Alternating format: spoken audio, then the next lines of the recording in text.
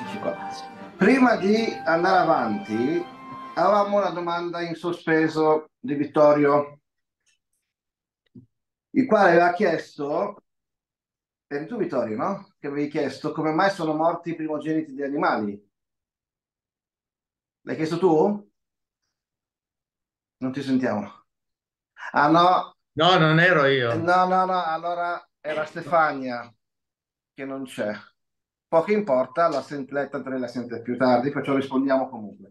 La domanda era, abbiamo spiegato settimana scorsa che nella morte dei primogeniti sono morti i primogeniti egizi, ma anche i primogeniti degli animali e anche i primogeniti di, di chiunque si trovava in Egitto, per esempio erano lì dei, eh, eh, come si chiamano, dei prigionieri di guerra in Egitto, che non erano egiziani, erano prigionieri di guerra. Anche i loro primogeniti sono morti. Perciò tutto quello che era nel suolo egizio, che era primogenito, moriva. Scusate. Allora la domanda giusta è cosa hanno fatto di male i primogeniti pardon, degli animali. Allora, una risposta è che anche gli animali, essendo non soltanto il capretto, ma a quanto pare gli animali in generale erano l'idolatria dell'egizio, non solo capretto barra agnello, ma qualsiasi animale. Perciò, di- essendo una divinità, tutto quello che è, che diventa, eh, come si dice, un idolo, va distrutto, perché va contro l'unicità di, di Dio. Ma nel specifico, perché proprio il primogenito, ecco, è una sorta di, ehm, una cosa che è direttamente proporzionale, ovvero nella Torah il concetto di primogenito è una cosa molto importante. Il primogenito di una famiglia, il Bechor, cos'è? È- è- appartiene a Dio. Tant'è che quando in una famiglia nasce un bimbo maschio primogenito, il papà deve riscattare, perché ogni primogenito è per Dio. C'è scritto ancora, Dio scrive Torah, tutti i primogeniti sono miei. Vuol dire che i primogeniti sono una cosa importante agli occhi di Dio. E stavo dicendo che una persona quando rinasce un maschio primogenito appartiene a Dio. Perciò il papà, tot giorni dopo la, la circoncisione, deve andare a riscattare, vuol dire a ricomprare dietro il proprio figlio da Dio. Chi è il rappresentante di Dio sulla terra? Il Kohen, il sacerdote. Perciò la halakha dice, non è un'usanza, è proprio una halakha, che chi ha un figlio, un pri- primogenito maschio, dopo la circoncisione deve andare a dare eh, cinque monete ehm, al, al Cohen, a un Cohen che lui desidera, è come se lui sta riscattando, sta comprando suo figlio da Dio, perché appunto il sacerdote rappresenta Dio. Perciò il, il- il primogenito ha, un- ha un'immensa importanza nella Torah, ma non soltanto il primogenito umano, anche il primogenito animale era, bisognava dedicarlo a Dio. Ogni animale, il primo, il primo animale che usciva era per Dio. Perciò qua vediamo qui e in altri posti, vediamo che il, primogenito era, nelle famiglie, era colui che continuava, continuava, diciamo, la presenza del papà. Una volta che papà eh, mancava, il primogenito prendeva il suo posto. Il primogenito prendeva, diciamo, eh, se c'era una dote, se c'era un'eredità, il primogenito prendeva doppio degli altri. Perciò vediamo in tanti posti diversi negli insegnamenti della Torah che il primogenito è particolarmente importante. Ok? Perciò anche eh, visto che è direttamente proporzionale, tutto quello che c'è nel campo del bene e della santità, Dio l'ha creato anche nel campo dell'impurità. Perciò è, è una sorta di par condicio. Tutto quello che trovi nel mondo del bene lo trovi anche nel mondo dell'impurità. Dio ha dato forze di qua e di qua. Perciò seguite il, il filologico, se nel mondo ebraico, se nella Kedusha, nella santità, il primogenito ha un'importanza molto grande, come abbiamo eh, brevemente detto, perciò anche nel, nell'altra parte, nella parte dell'impurità, il primogenito è anche importante, più degli altri. Perciò in questo momento di distruzione del male, perché abbiamo detto che l'ultima piaga veniva a distruggere tutto ciò che è male e tutto ciò che è idolatria e così via, perciò di conseguenza il primogenito anche degli animali e di qualsiasi cosa si trovasse in Egitto, in quel momento ogni primogenito doveva morire, perché l'importante era soltanto il primogenito della santità. Perciò doveva essere eliminato tutto quello che è primogenito in Egitto, perché era la fonte di tanta impurità. Così come il primogenito nell'ebraismo è molto importante, lo è anche nel contrario, perciò nell'impurità, perciò va eliminato. Spero che sia eh, abbastanza chiaro.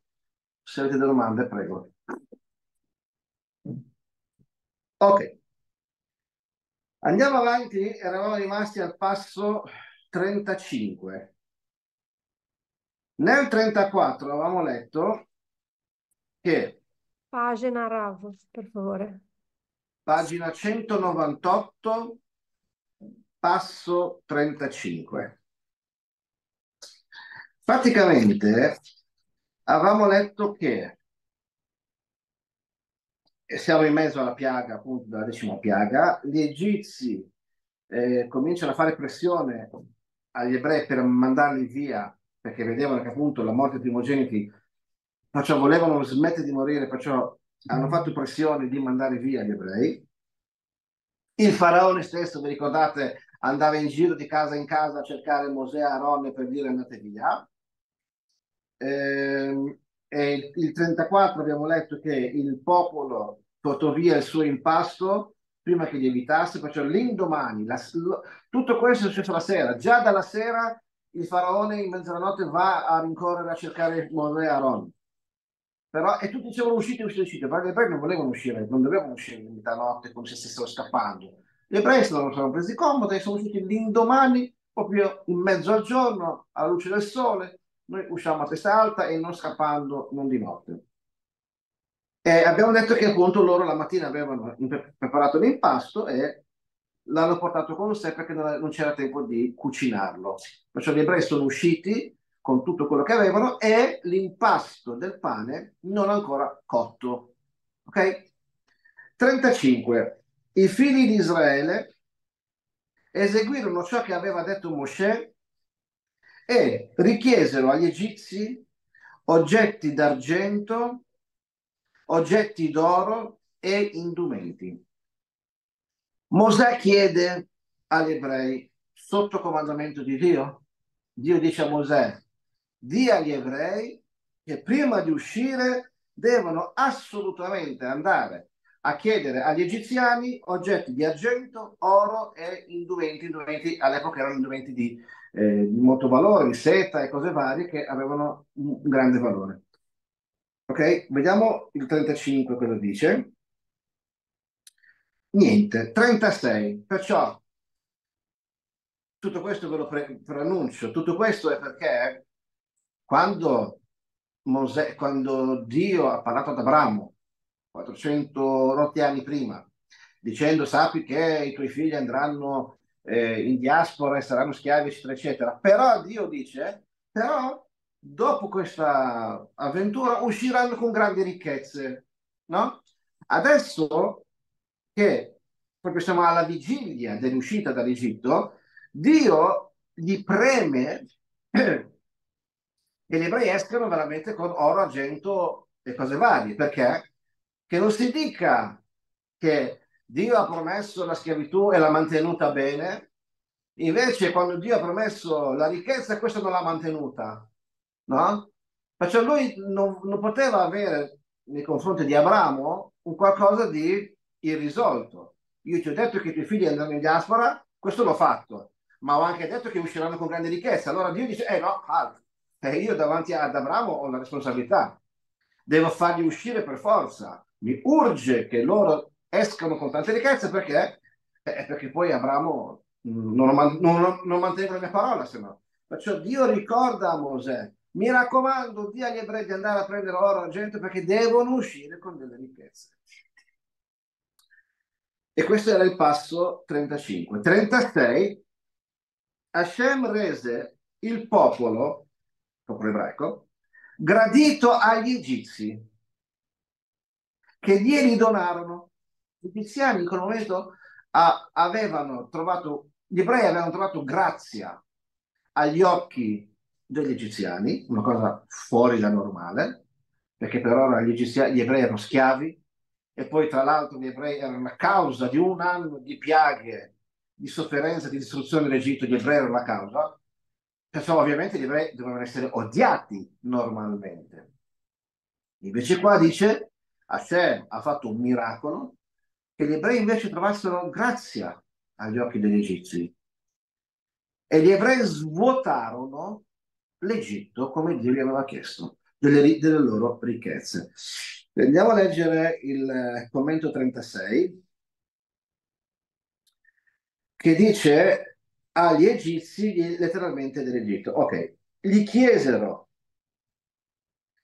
Allora, abbiamo detto che gli egizi donarono tutto quello che gli ebrei hanno chiesto, gliel'hanno dato E non, presta- e non prestarono, perché come potrebbe sembrare letteralmente. In ebraico c'è scritto Vaisha Alum, dov'è? ובני ישראל עשו כדבר משה וישאלו. וישאלו anche, può anche essere come hanno chiesto in prestito. Allora che non si dica, ah, gli ebrei hanno chiesto in prestito e poi se la sono svignata e non sono più tornati a rendere, perché quello diventa, diventa furto. Se tu mi dici, dammi in prestito qualcosa, io te la do e poi te la rendo fra un mese, se io non te la rendo mai più, ti sto rubando, no? Allora qui il commento viene a sottolineare, attenzione, gli ebrei non hanno chiesto in prestito perché sanno che stanno per uscire in eterno. Sarebbe un inganno, sarebbe rubare e noi ebrei non facciamo questo. Perciò chi nessuno lo fa, nessuno deve farlo. Sono dieci comandamenti. Perciò loro non hanno chiesto in prestito, come si potrebbe anche, il verbo potrebbe essere tradotto anche chiedere in prestito, bensì hanno chiesto di avere. Adesso Dice, non c'è dubbio che questo cambiamento radicale nel rapporto fra egizi ed ebrei, dal peggior asservimento fino al generoso dono degli oggetti preziosi, fosse un grandioso miracolo. Ovvio, prima erano schiavi, odiati, adesso di colpo danno tutte le loro ricchezze, ovviamente qua c'era il dito di Hashem. Ciò che rese però tale fenomeno tanto insolito fu la reazione degli egizi che videro questo nuovo stato come una cosa naturale. Per loro era di natura di voler dare a cuor pieno qualsiasi cosa gli ebrei chiedessero. Essi stessi, gli egizi, sentirono la necessità di aiutare gli ebrei e di dare loro spontaneamente anche ciò che non era stato richiesto come afferma il versetto, Hashem rese il popolo gradito agli occhi degli egizi o fece in modo che il popolo piacesse agli occhi degli egizi. Questa è una cosa che Hashem ha fatto. Anche se si considera l'eventualità che si fossero sentiti in dovere di indennizzare gli ebrei per 200 anni di schiavitù, di lavori forzati, Perciò anche se vogliamo dire che loro eh, in realtà si sentivano in debito con gli ebrei per tutto il lavoro fatto per 210 anni, allora loro volevano in qualche modo eh, ripagarli di quello che è successo, rimane evidente che un simile impulso di generosità da parte degli egizi non fosse altro che un fenomeno miracoloso in vesti naturali. Cioè, per quanto possiamo anche magari dire che gli ebrei, che gli egizi si sentivano in colpa e volevano in qualche modo indennizzare la schiavitù, comunque non era una cosa naturale, era una cosa miracolosa. Il libro di Micha è scritto, nel libro di Micha è scritto, a proposito dell'epoca messianica, c'è scritto così, mostrati meraviglie come ai giorni in cui uscisti dall'Egitto.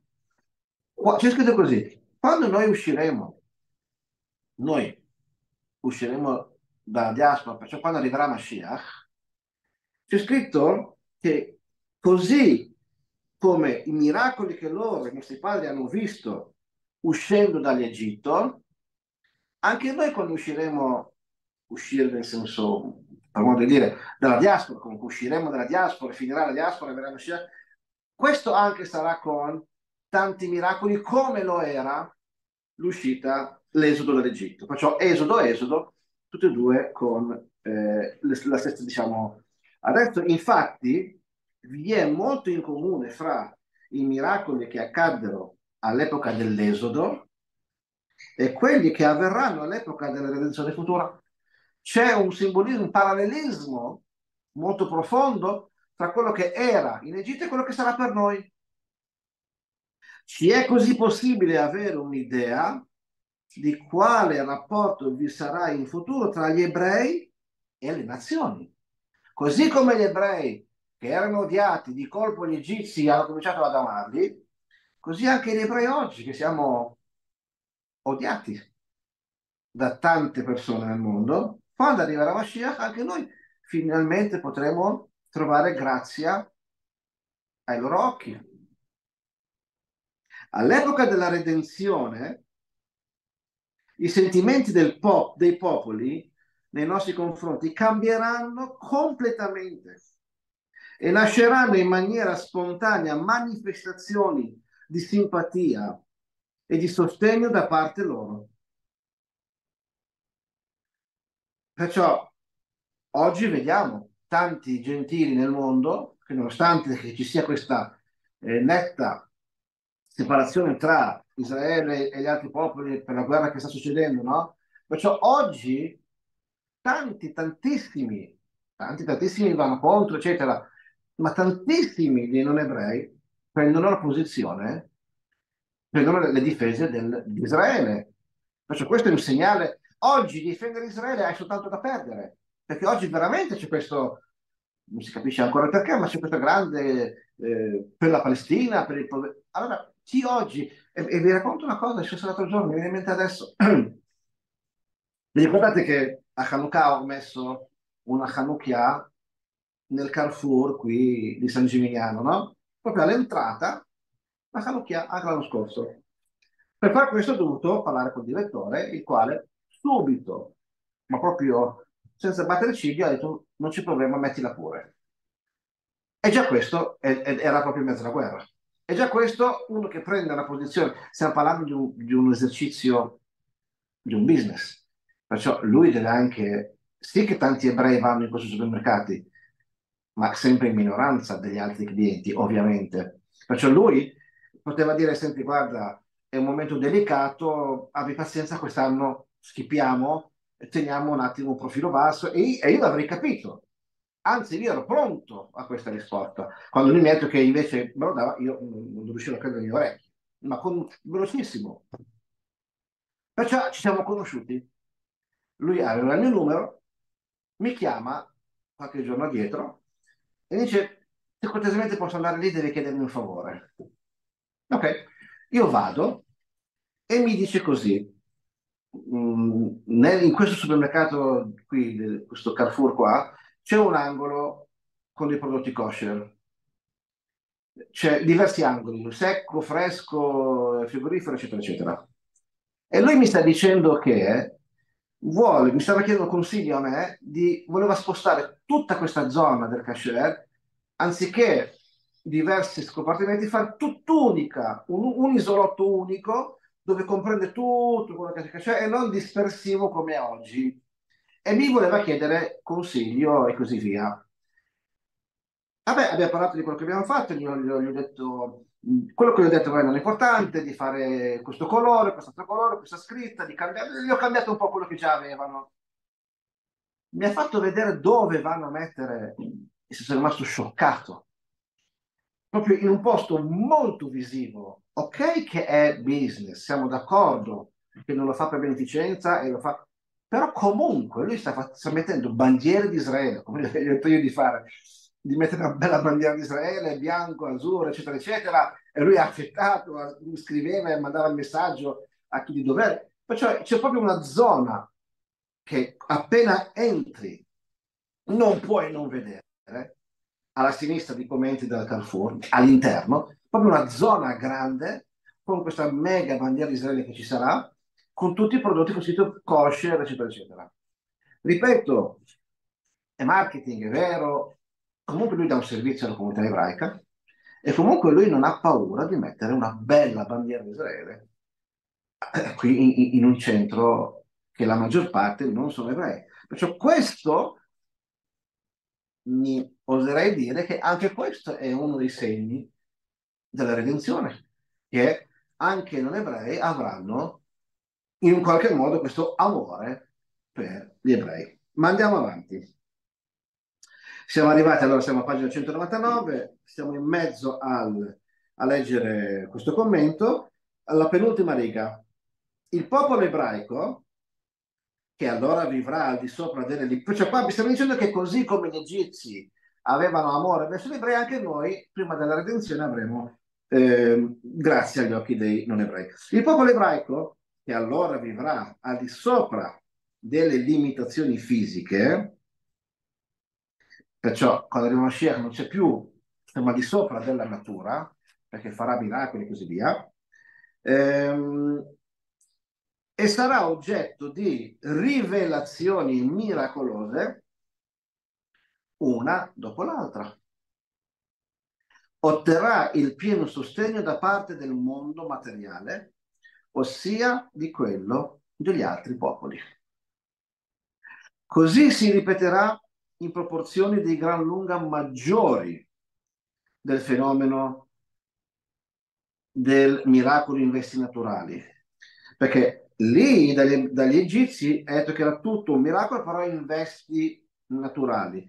Qui invece sarà molto di più che avvenne in occasione di... Questo è quello che avrebbe, tutto questo che abbiamo appena detto è una spiegazione del Rebbe, che appunto quando noi usciremo, come dice il profeta, anche noi riceveremo i miracoli, ma saranno miracoli molto più intensi, molto più forti di quello che era. Perciò avremo miracoli, già l'Egitto era veramente grandi miracoli, e quando verrà Mashiach avremo dei miracoli ancora più profondi, più forti. Qua ci manda adesso per approfondimenti, si vede a pagina 670. Andiamo a pagina 670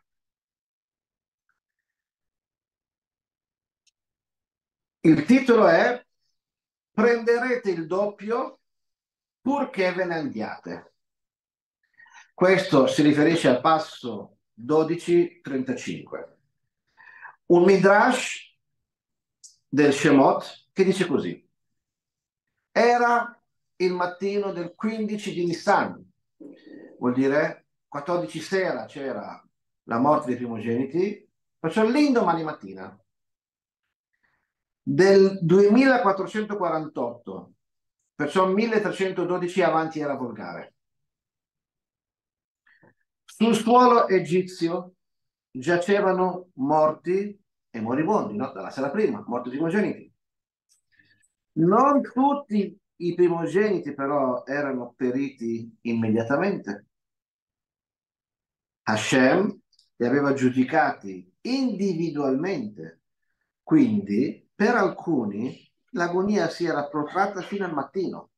Perciò non tutti sono morti la sera prima, ma altri hanno pian piano morivano la mattina. Altri ancora avevano sofferto per tre giorni prima di morire. Non vi era una sola casa egizia in cui non ci fossero cinque o addirittura dieci vittime, poiché oltre ai primogeniti, Hashem aveva colpito gli egizi malvagi, perciò non soltanto i primogeniti, ma anche gli egiziani che erano malvagi, Reshaim, che si erano opposti alla liberazione dei figli di Israele. Perciò la notte prima no, che tutti morivano e tutti rincorrevano gli ebrei per mandarli liberi, c'erano quelli che si opponevano. No, non lasciavano andare liberi. Questi anche sono morti. Perciò dai 5 ai 10 ogni famiglia. Gli egizi però non rimasero con i loro morti. Fuggirono a Goshen, dove Goshen era quella regione dove gli ebrei abitavano, con animali e carri, implorando i figli di Israele di partire perché pensavano che altrimenti sarebbero morti tutti. Perciò quando loro vedevano tutti questi morti, pensavano che morissero tutti. Sono corsi agli ebrei per chiedere di andare via. Prima di andare, i figli di Israele chiesero ai vicini egizi oro, argento e vestiti, no? Ricordando che Dio aveva detto a Mosè, per favore, sottolinea per favore, di agli ebrei di chiedere ai loro vicini egizi oro, argenti e utensili. Così si realizzerà la promessa che ho fatto a loro, al loro antenato Abraham, che sarebbero usciti dall'Egitto con grandi ricchezze. Ok, la domanda è perché Hashem espresse questo comando a Mosè sotto forma di richiesta per favore di agli ebrei? Ma eh, se è vero che gli ebrei siamo un po' tutti amanti delle ricchezze, allora non c'era bisogno così tanto un invito così specifico. Per favore, Mosè, fai sicuro che gli ebrei prendano. Perché cioè, nessuna persona normale lo deve implorare di prendere oro argento. È una cosa abbastanza naturale. Perché qua Dio dice, per favore Mosè, mi raccomando.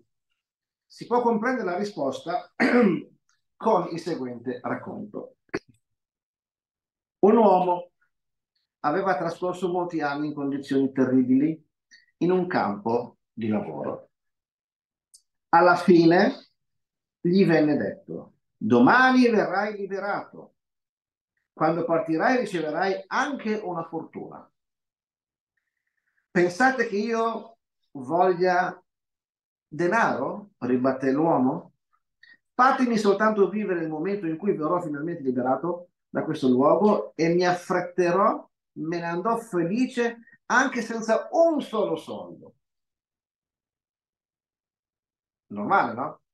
Uno che è sofferente non vuole fare un secondo in più, lasciami uscire gratis, anzi ti pago io.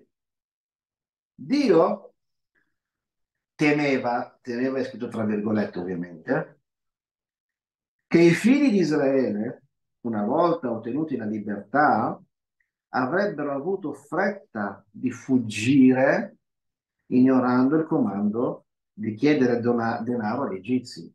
No? Come questa storiella qua, Dio non voleva che gli ebrei, presi dalla foga, dalla felicità di uscire, non volessero neanche un centesimo.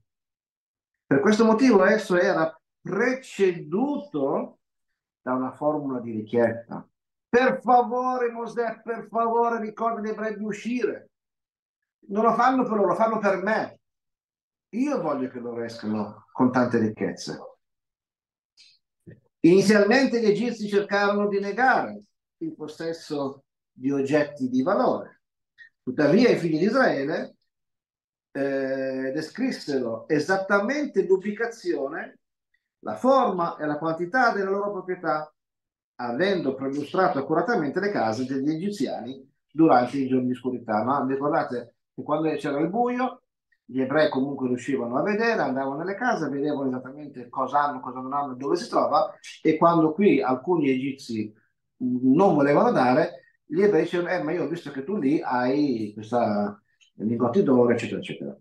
Gli egizi non diedero loro soltanto gli oggetti che avevano chiesto, ma ne consegnarono due di ciascuno Se hanno chiesto una collana d'oro, gli davano due, dicendo eh, prendetene il doppio purché ve ne andiate. Pagina accanto, 671. I figli di Israele vuotarono l'Egitto dei suoi beni. Quel denaro spettava loro a causa di tutte le proprietà che si lasciavano alle spalle, nonché, eh, ricordiamoci che eh, gli ebrei erano lì prima della schiavitù, cioè avevano case, avevano territori, che avevano, no? E uscendo dall'Egitto eh, lasciavano tutto lì. Perciò, eh, ripetiamo, i figli di Israele vuotarono l'Egitto dei suoi beni, quel denaro spettava loro a causa di tutte le proprietà che si lasciavano alle spalle, nonché per i 210 anni di, di duro lavoro.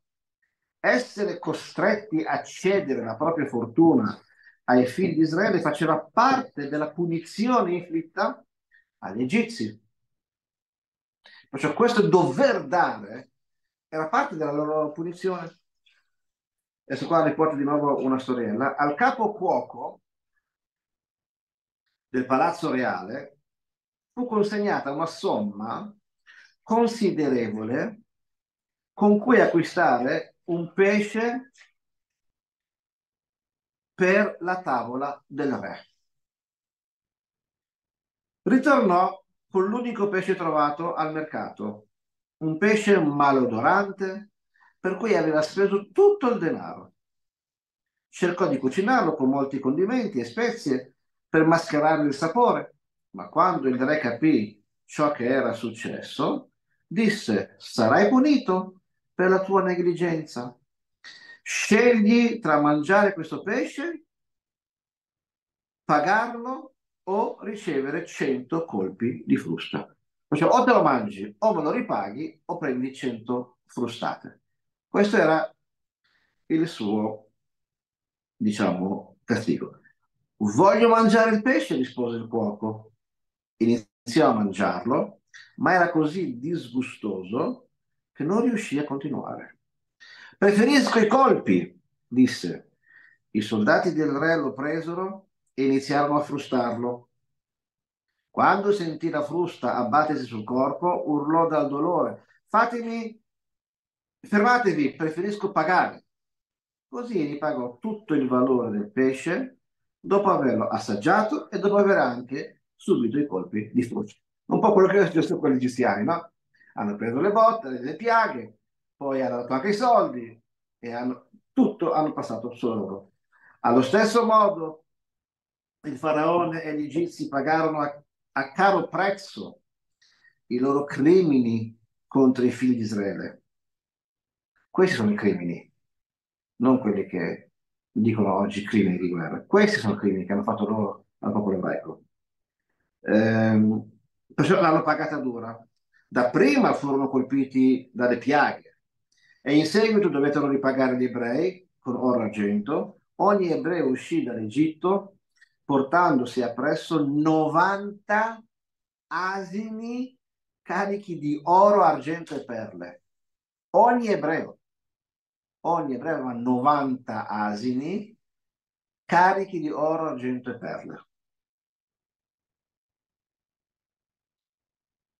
Mentre i figli di Israele si occupavano di prelevare le ricchezze dall'Egitto, stava, ripeto, il 15 di Nissan, la mattina, lì poche, da lì a poche ore dovevano uscire. Mo, mentre tutti erano lì a prendere gli ori e gli argenti dagli, dagli egiziani, Mosè era impegnato in una mitzvah diversa. Era infatti intento a preparare la bara di Giuseppe. Ricordiamoci, Jacob era uscito, aveva chiesto di essere seppellito in Israele. Giuseppe invece voleva rimanere lì per stare con, per dare conforto, stare lì comunque vicino al popolo ebraico, no? Anche se era morto. Però lui aveva fatto chiedere, Giuseppe aveva chiesto prima di morire, quando arriverà il, il Redentore, cioè Mosè, prima di uscire dall'Egitto, ricordate di portare le mie ossa fuori da qua. Sto qua con voi finché sarete anche voi, però quando voi uscite portate anche a me. fuori, no? Ehm, era infatti intento Mosè a preparare la bara di Yosef per portarla alla sepoltura finalmente in terra di Israele, come gli avevano promesso i suoi figli. Lui ha fatto promettere ai suoi figli di portarlo in Israele. Mosè cercò la bara di Yosef per tre giorni, ma la sua ricerca fu vana, non lo trovava. Infine incontrò Serach. Serach era la figlia di Asher. Asher era uno dei fratelli di Giuseppe, uno dei dodici tribù. Questa figlia di Serach, questa Serach, figlia di Asher, era ancora viva. Una donna molto anziana che ricordava gli avvenimenti accaduti all'epoca di Giuseppe, che era suo zio, no? Sì. E quella era la nipote di Giuseppe.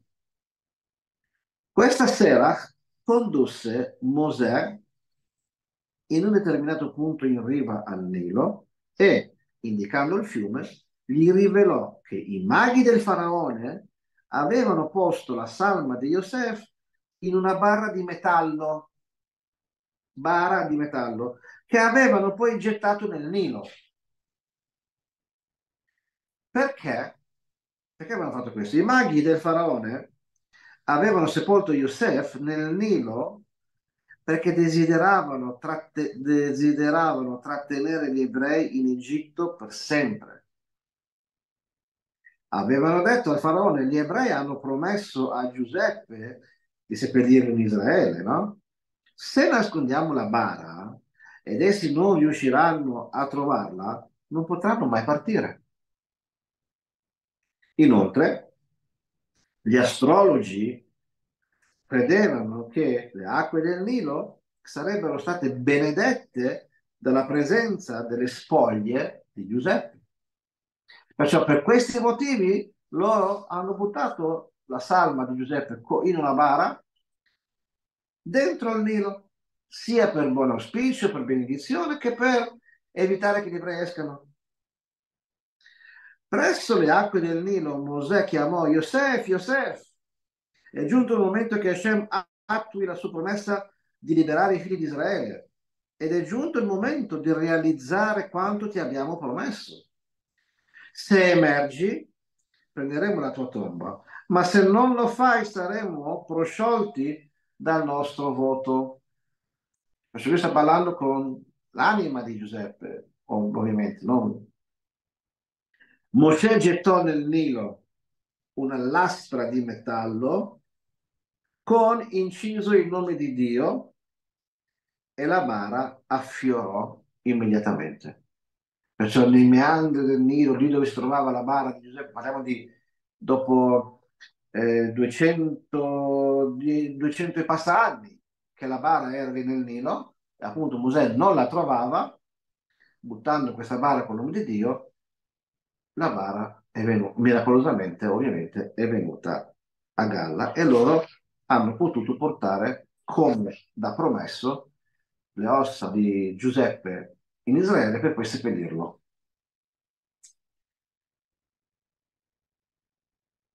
Domande intanto? Ma questa, questa, lastra non è la stessa che poi fu buttata nel crogiolo che venne fuori il vitello d'oro?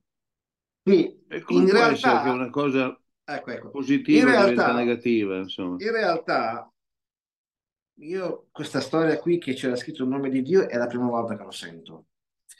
Io sapevo che c'era scritto le due parole Ale Shore in questa lastra. Ale Shore vuol dire, shore, è vero, sì, sì, sì, sì, sì. Ale Shore vuol dire sì, sali. Sì, adesso ricordo. Sali, Ale Shore è toro, perché sì. Giuseppe il suo simbolo era il toro. No? Ogni fratello aveva un animale come simbolo e Giuseppe il suo era il toro. Perciò buttando la lastra con scritto sali toro, Giuseppe è salito. Ragion per cui, come lei dice, qualcuno ha tenuto questa barra qui e l'ha buttata nel fuoco con tutti i metalli fusi più avanti e allora il vitello d'oro è, è uscito fuori anche grazie, per colpa grazie a questa barretta qua. Perciò, giustamente, anch'io non capisco come mai questo Sì, testo sì, no, grazie scritto... perché adesso mi è venuto il collegamento. Sì, sì, grazie. Ma bisogna chiedere qua da dove hanno preso che c'era il nome di Dio quando in realtà c'era scritto Sali Toro. Ok. Torniamo a pagina 199. Andiamo avanti nei passi. Passo 37. I figli di Israele sì, partirono da Ramses verso Sukkot, che è una località. Circa 600.000 uomini a piedi, oltre ai bambini. Vediamo 37, cosa dice il commento. Da Ramses verso Sukkot non è la Ramses che, di cui se ne parla del verso 1.11. Secondo la tradizione, Sukkot si trovava a 120 o a 130 miglia, miglia ebraiche, miglia vuol dire un modo come si calcola le miglia in ebraico, comunque da Ramses, ossia 160 o 175 chilometri. Sukkot si troverebbe lungo il golfo di Suez o nell'area settentrionale della, pensio- della penisola del Sinai. Sukkot e Ramses distavano l'una dall'altra tre giorni di viaggio. Perciò qua dice che non è la stessa Ramses. Comunque, quello è un dettaglio. 600.000 uomini abbiamo detto. Chi esce dall'Egitto? 600.000 uomini al di fuori dei bambini. Il numero esclude i bambini, esclude le donne e gli egiziani. La popolazione che lasciò l'Egitto ammontava quindi a circa 3 milioni e mezzo di persone, senza contare gli Erevrav. Erevrav erano quel, quel, quel gruppo di egiziani che hanno voluto convertirsi all'ebraismo e hanno chiesto a Mosè di poter far parte del popolo ebraico. Che poi, tra l'altro, questi Erevrav erano quelli che tutte le varie problematiche nel deserto, le lamentele, discussioni, erano sempre loro, questi egizi, erano sempre loro che cominciavano tutte le varie, eh, diciamo, dispute. Perciò in tutto erano, no, senza questi Erevrav, proprio ebrei, bambini, uomini e donne, erano 3 milioni e mezzo ad uscire dall'Egitto. Cifra che rende l'idea dell'immensa portata del miracolo. Un conto è far uscire 100 persone, 1000 persone. Un conto è far uscire 3 milioni e mezzo di persone, tra cui uomini, donne, bambini, anziani. No? Perciò fa vedere quanto questo miracolo era veramente dettagliato. Tutte queste persone seguirono Mosè per recarsi in un deserto senza sapere che cosa avrebbero mangiato. 3 milioni e mezzo di persone escono e seguono Mosè senza anche avere un pezzo di pane, neanche un pezzo di pane avevano, avevano impasto crudo. Cosa ne fai di impasto crudo? Però loro hanno seguito Mosè ciecamente. La loro fede fu incondizionata e riposta completamente in Hashem. Non è normale 3 milioni e mezzo bambini uscire così nel deserto. Il deserto, ricordiamo, non c'è niente. Non c'è cibo, non c'è acqua. Di giorno c'è un sole che può uccidere dal, dal calore, di sera c'è un freddo che può uccidere. Perciò era un posto invivibile. In qualsiasi tipo di serpenti, scorpioni. Eppure gli ebrei 40 anni hanno vissuto, ma sono usciti proprio senza pensare cosa mangeremo, cosa daremo ai bambini da mangiare.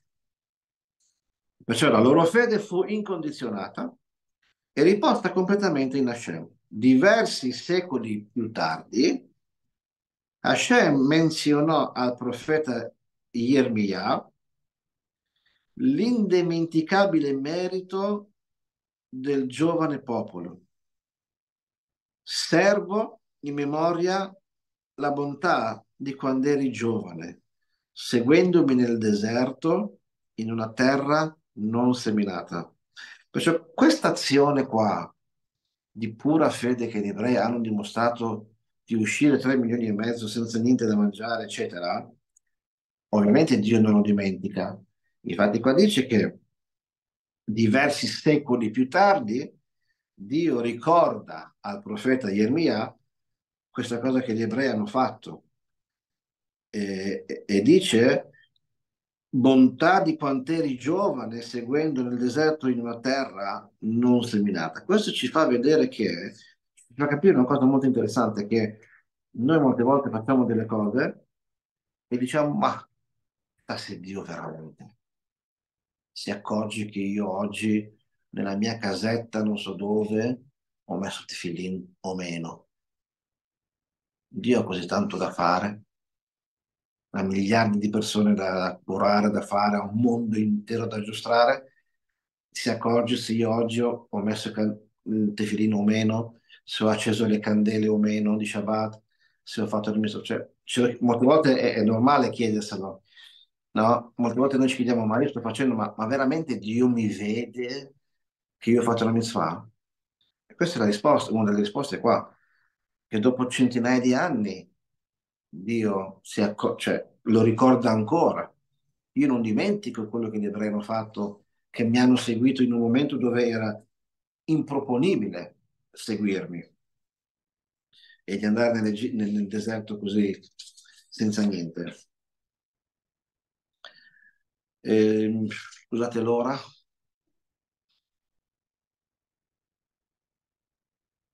Diciannove 23.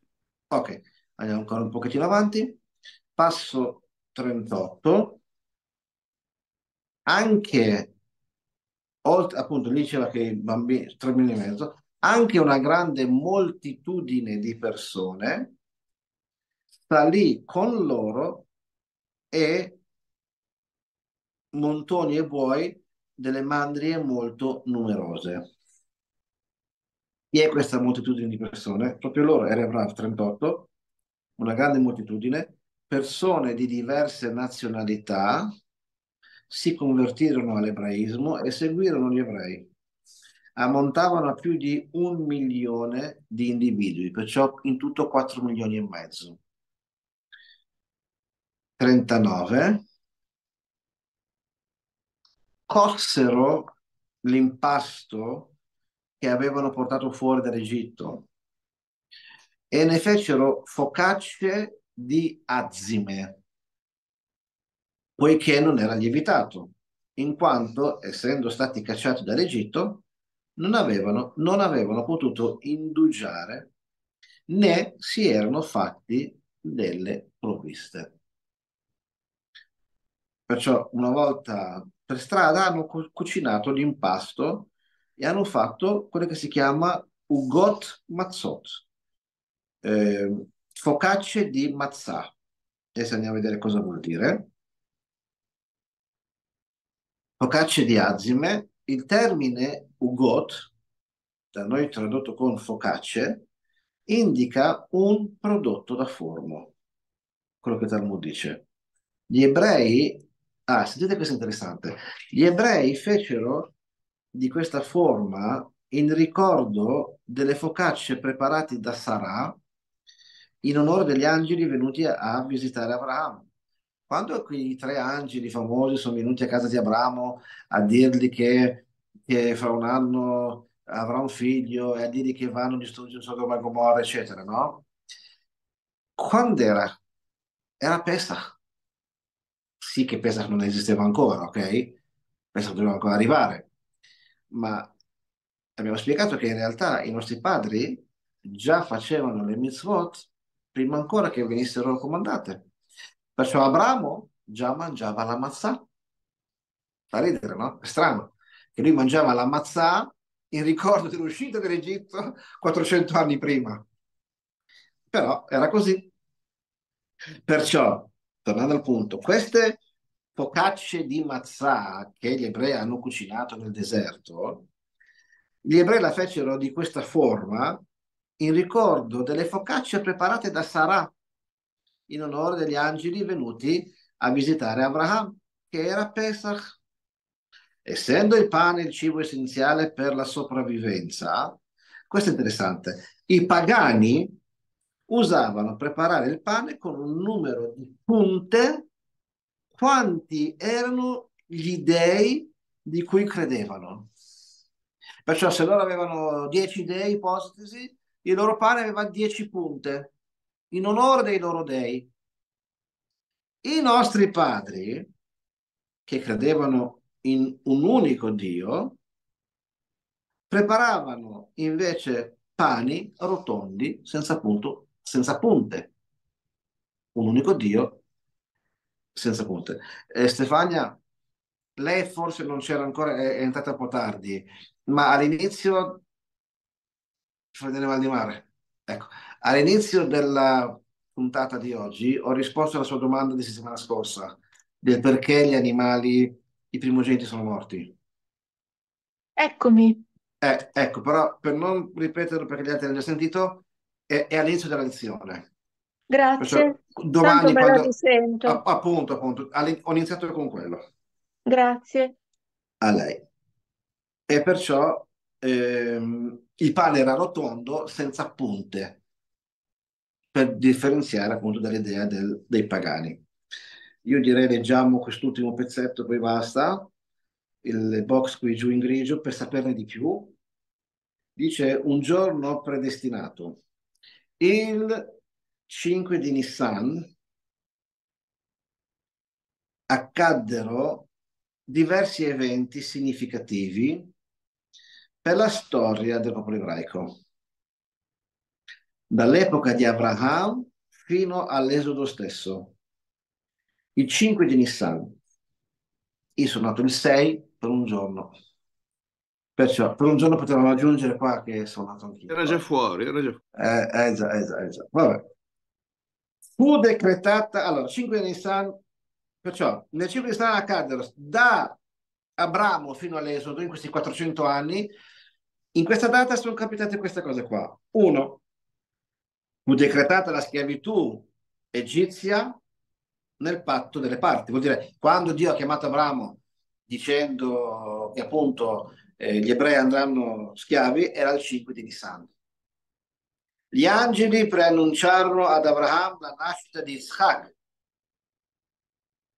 Era il 5 di Nissan.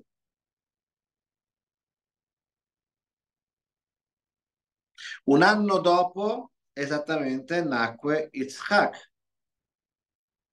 Ecco, il 15 di Nissan. Eh, io ogni volta la grafica di questo libro, il, è perché me ne sono accorto adesso perché eh, Pesach non è il 5 di Nissan, è il 15 di Nissan.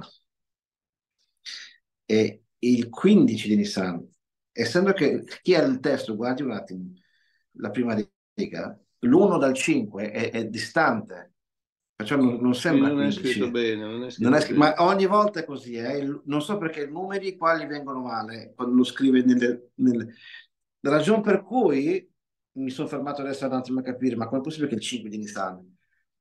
Perché era il 15 di Nissan che era Pesach. Perciò mi raccomando, non bisogna mai leggere senza pensare, bisogna pensare quando si legge. Perciò il 15 di Nissan, non il 5, fu decretata la schiavitù egizia, gli angeli pronunciarono ad Abramo la nascita di Isaac, un anno dopo, perciò a Pesach è nato Isaac, Yosef uscì di prigione, era di Pesach, i figli di Jacob scesero in Egitto, era di Pesach. Ah, interessante, sono usci- entrati e usciti a Pesach proprio, interessante. Eh, le acque dell'Egitto si trasformarono in sangue, era Pesach, gli ebrei uscirono dall'Egitto. Interessante. Ok, parola a voi. Beh, quindi potremmo dire che Yosef è, usci- è- è uscito due volte, perché a Pesach la prima volta esce di prigione e la seconda volta esce con Abramo Avinu, con, con, con Moshe Rabbeinu, Rabbeinu, giusto? giusto, quando lo tira giusto, fuori dal Nilo, insomma, quindi ha avuto due, due uscite Due uscite straordinarie. Bello, bello, bello. Giusto. Qualcos'altro che avete da aggiungere, da chiedere? No, forse tre volte, Rav, perché la terza volta è quando arriva il Messia. È pa- a Pesach arriva il Oh, Messia. no, ma Mashiach arriva oggi, mica a Pesach, perciò Va bene, entro Pesach deve arrivare comunque, entro, amen, Amen. amen, amen. Ok, qualcun altro?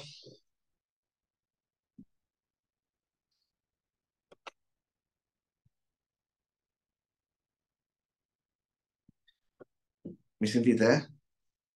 Ok, altro Io non ho capito una sì, cosa però. Mm, Quando dice richiesero gli oggetti di argento, eccetera, no?